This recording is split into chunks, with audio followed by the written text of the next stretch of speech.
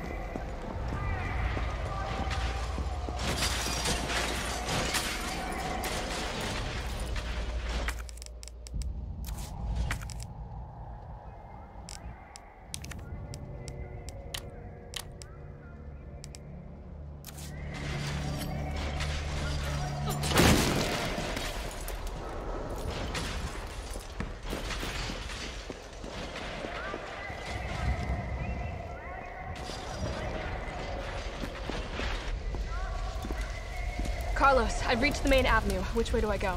See a big transmission tower? That's the substation. You'll have to circle around through an alley to your right to get there. You mean the alley that's on fire? Maybe. Surely a tall drink of water like yourself can put out a few flames. Fuck you.